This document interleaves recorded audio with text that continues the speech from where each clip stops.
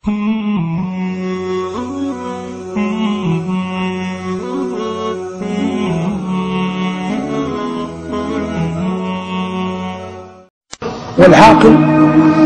يتأمل السنة المبينة للقرآن ويعلم أن المرء ما حمل على ظهره شيء أعظم من ذنبه فيسعى في كل عمل يغلب على ظنه أنه تمحى به الذنوب.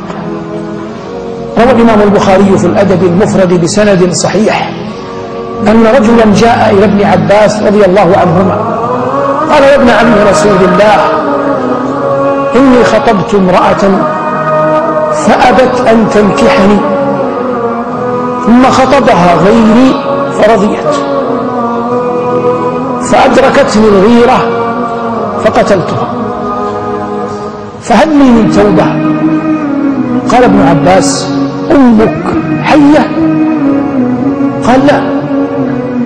قال ابن عباس تب إلى الله.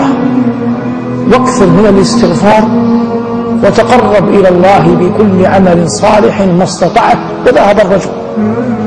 فلما خرج ابن عباس تبعه عطاء بن يسار أحد طلابه قال ابن عم رسول الله لم سألته عن حياة أمه؟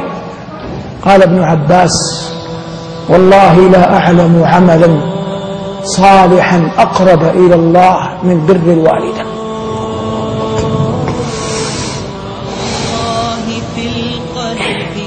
قال والله لا أعلم عملا صالحا أقرب إلى الله من بر الوالدة.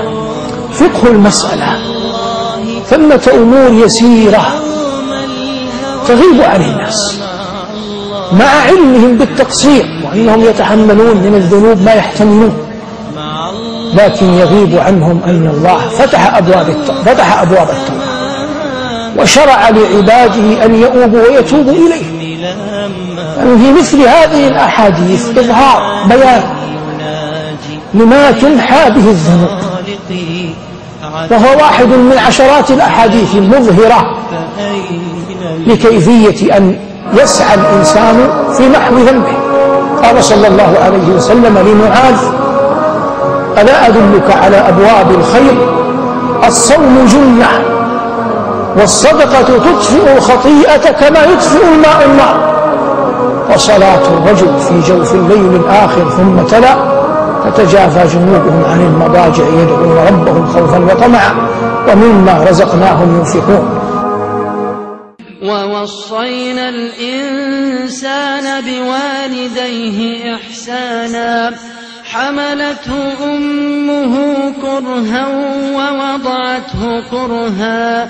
وحمله وفصاله ثلاثون شهرا حتى إذا بلغ أشده وبلغ أربعين سنة قال رب أوزعني أن أشكر.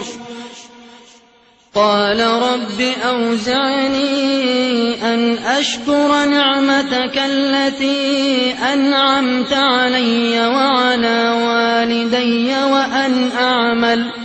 وأن أعمل صالحا ترضاه وأصلح لي في ذريتي. إني تبت إليك وإني من المسلمين. أولئك الذين نتقبل عنهم أحسن ما عملوا. ونتجاوز عن سيئاتهم في أصحاب الجنة. وعد الصدق الذي كانوا يوعدون.